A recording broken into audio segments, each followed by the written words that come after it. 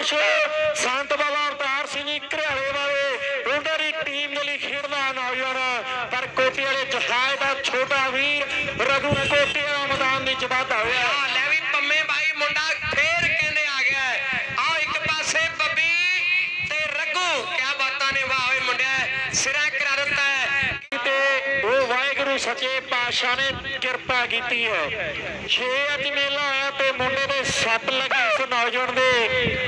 Operation ਹੋਇਆ ਪਰ ਪਰਮਾਤਮਾ ਨੇ ਕਿਰਪਾ ਕਰੀ ਹੈ। ਇਹ ਗੱਭਰੂ ਦੁਬਾਰਾ ਫੇਰ ਗਰਾਊਂਡਾਂ 'ਚ ਖੇਡ ਰਿਹਾ ਹੈ। ਉਹ ਸੱਚੇ ਪਾਤਸ਼ਾਹ ਦਾ ਧੰਨਵਾਦ ਰਘੂ ਵਾਲਾ ਮਾਣ ਕਰਦਾ ਹੈ। ਮਸਾਣੀ ਵਾਲਾ ਸੁੱਖਾ ਕਹਿੰਦੇ ਮਾਣ ਕਰਦਾ ਹੈ। 14 ਦਸੰਬਰ